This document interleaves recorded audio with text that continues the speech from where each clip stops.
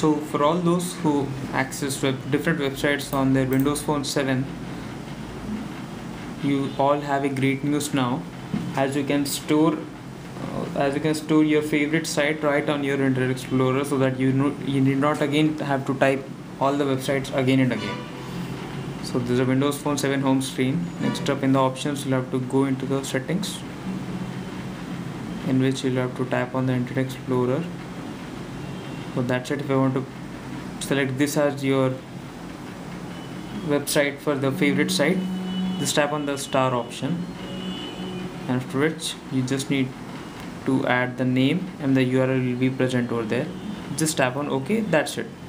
You have created you have successfully created the favorite site on your Windows Phone 7